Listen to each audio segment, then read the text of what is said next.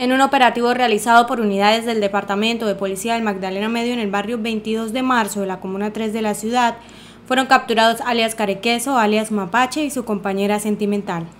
Dios y patria, seguimos con los resultados contundentes contra la criminalidad.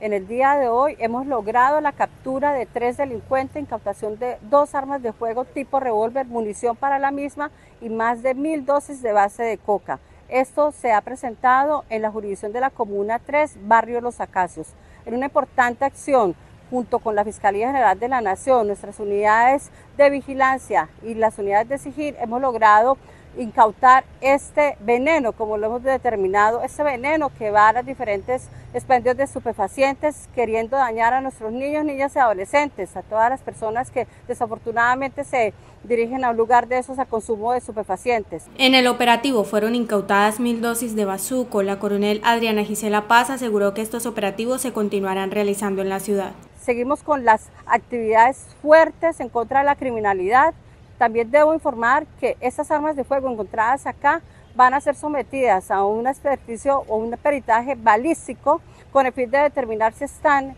inmersas en los hechos de sangre que se han presentado anteriormente en esta jurisdicción. Dios y patria. Según las autoridades, estas personas presentan anotaciones judiciales por los delitos de hurto, porte ilegal de armas de fuego y tráfico de estupefacientes. Los capturados fueron dejados a disposición de la Fiscalía General de la Nación.